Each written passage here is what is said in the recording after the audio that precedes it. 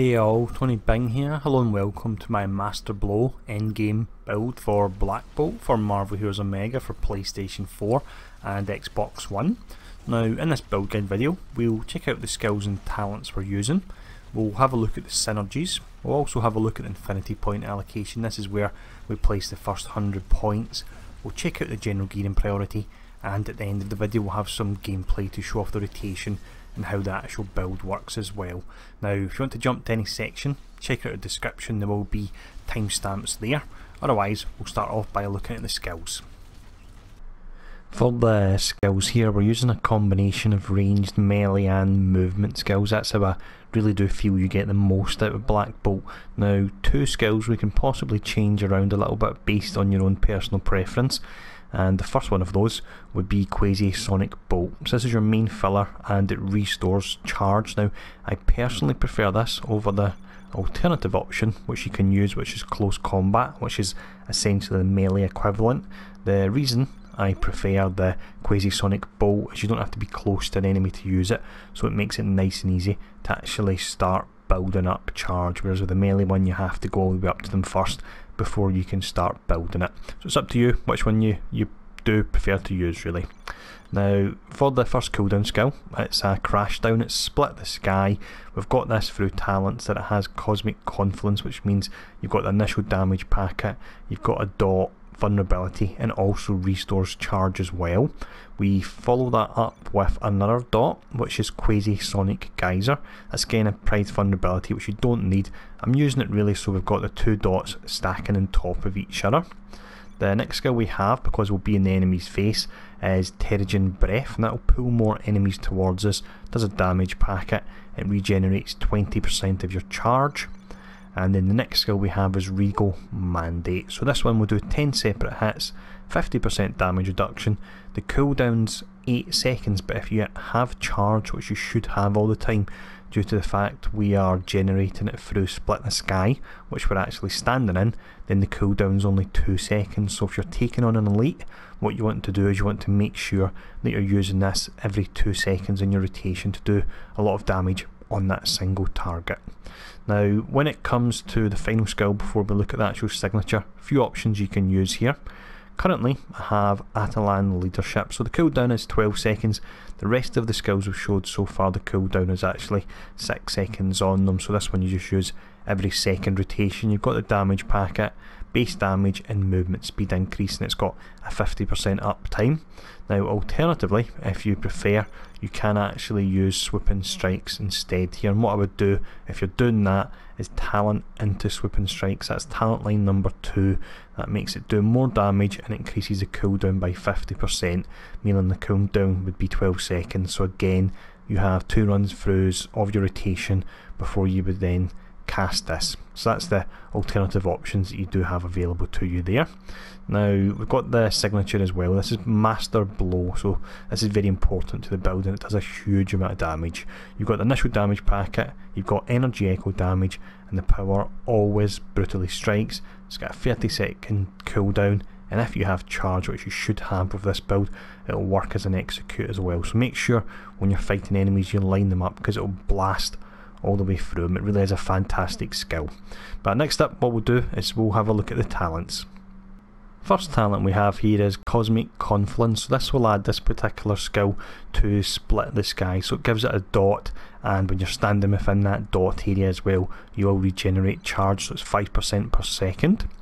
We then have Fury of Attilan and this makes the skills Terrigen Breath and Regal Mandate work together. So Regal Mandate's cooldown is refreshed when you use Terrigen Breath, and Terrigen Breath also becomes a melee power that fires at your actual location.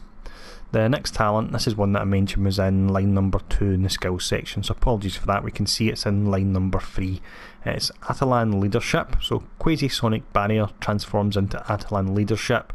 Alternatively, if you would rather not use this, you can use Razor Wind Wing. So this gives Swoop and Strike the extra damage, 4 second extra cooldown, pulling it up to 12 seconds, which means it fits in nice with our 6 second rotation because we use it every second time we're going round on the rotation.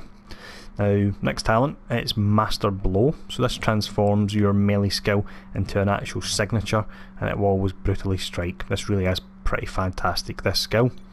And then the final talent it is second wind so when below 30% maximum health quasi-sonic barrier automatically activates restores 15% of your max charge per second with a duration of 6 seconds and a cooldown of 12 seconds as well there. But what we'll check out next in this video is we'll have a look at the optimal synergies we're using. We start off then as always looking at the primary attributes, it's fighting and energy and that's covered by Elektra, War Machine and Gambit. Your more generic ones are Blade, Hawkeye, Hulk, She-Hulk and also Squirrel Girl and then the ones that work good on them due to his power tags of melee, ranged and energy would be Black Widow and also Captain Marvel as well. But for the next section we'll check out Infinity Point allocation. This is where we would place the first 100 points. For the infinity point allocation then for me Black Bolt was all about moving fast so for that reason I use the time gem and temporal loophole. Now he has a relatively fast hitting spender so it means it does benefit quite well from attack speed and of course you've got that movement speed as well there.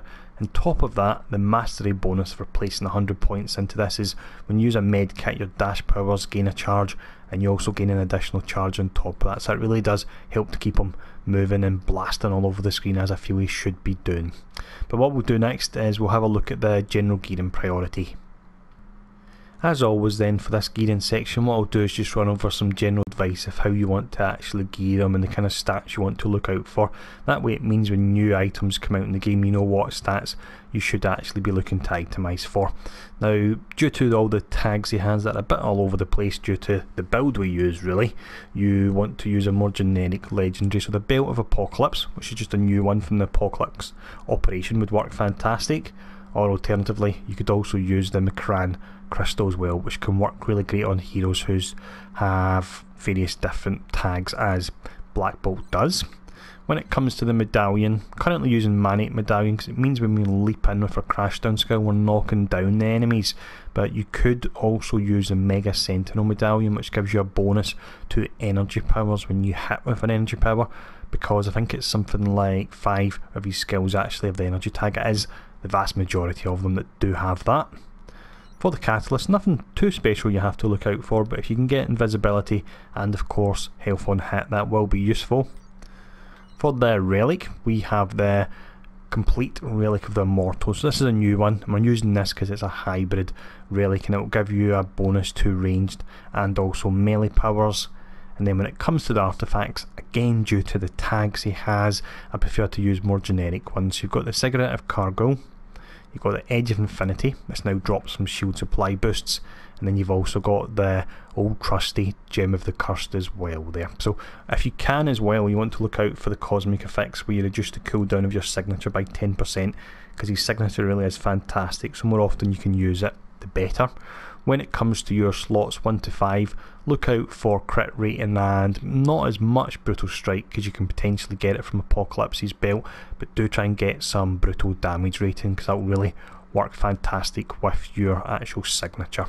But what we'll do to finish off the video as always, we've got some gameplay. As always I'll mention this isn't to show them off in best in slot gear because as you can see I don't have that at the moment, it's just to showcase the build and the rotation. So we'll run through the Sinister's lab, we'll take out the full bounty clear, take down Sinister at the end and hopefully it'll be a nice fun gameplay video to watch. But as always, if there's any questions feel free to ask and I'll see you all again soon.